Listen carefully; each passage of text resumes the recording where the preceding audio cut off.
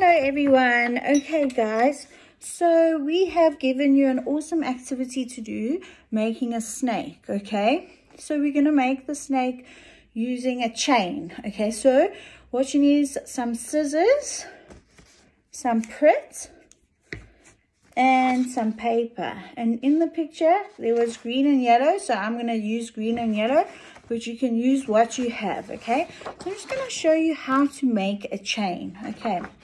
So it says that you need to cut your paper into strips. Remember when you're cutting, you can ask your mom or dad to help you, but you can do it yourself, okay? So maybe ask your mom and dad to draw some lines going down here, okay? I'm not going to draw lines because I can cut. So I'm going to show you, you're going to cut. Ooh, strips. Okay, you're going to cut lots because you want to make your snake super long, okay? Let's see you can make the longest snake. Okay, so I'm going to cut some green because I'm going to do a pattern.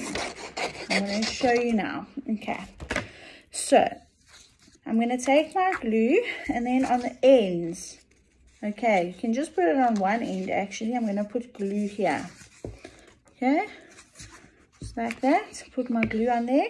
I'm going to take it together. I'm making a circle like a ring.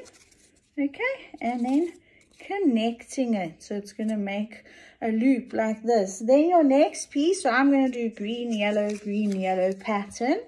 Okay. I'm going to put the paper through here like this. And you need to be quite careful because it can fall easily. You can put your glue on before you do this. So let's do that again.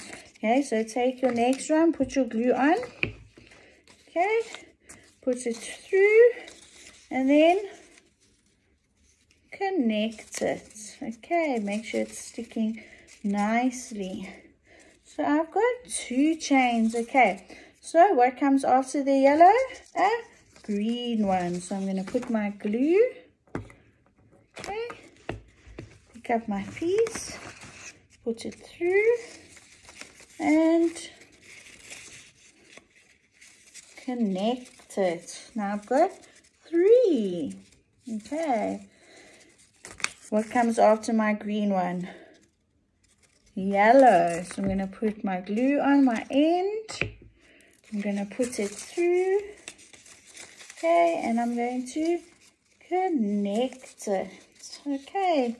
So there's my snake so far and I can make him super long.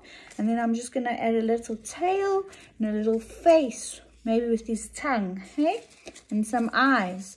So this is how you guys are going to make your snakes. Have fun, guys. I want to see who's going to make the longest one. Okay. Love you.